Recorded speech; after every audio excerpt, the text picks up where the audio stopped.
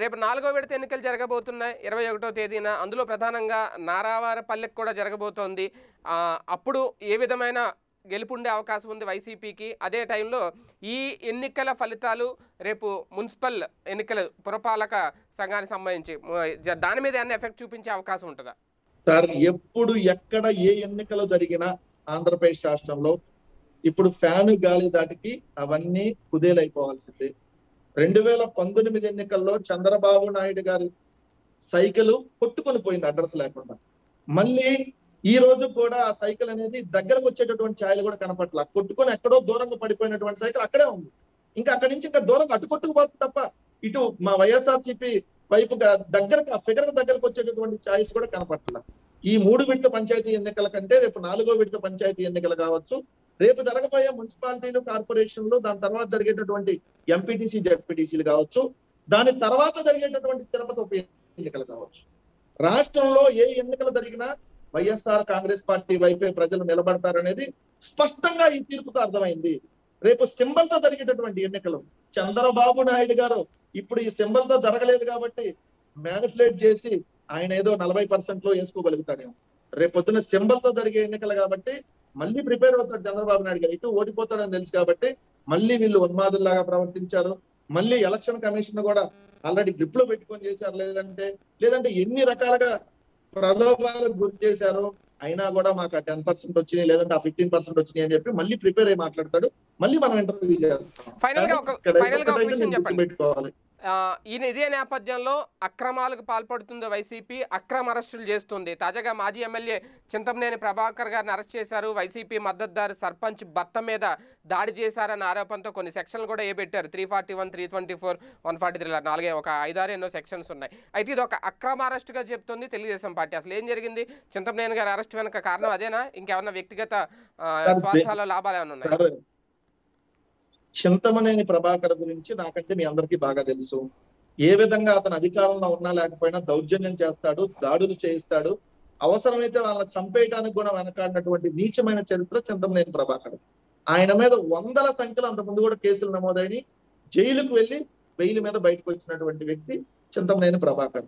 నిన్న ఎన్నికల ప్రచారంలో భాగంగా ఏదైతే దెందులూరు నియోజకవర్గం కదవేగి మండలం బి సింగవరం గ్రామంలో ఏదైతే పంచాయతీ ఎన్నికల్లో సర్పంచ్గా పోటీ చేస్తున్నటువంటి బి సింగారం సర్పంచ్గా పోటీ చేస్తున్నటువంటి అభ్యర్థి భర్త శామ్యుల్ పై దాడి చేసి ఆయన గాయపరిచారు కాబట్టి దానికి సంబంధించినటువంటి సంఘటనలో చింతమనేని ప్రభాకర్ గారిని అరెస్ట్ చేయడం జరిగింది.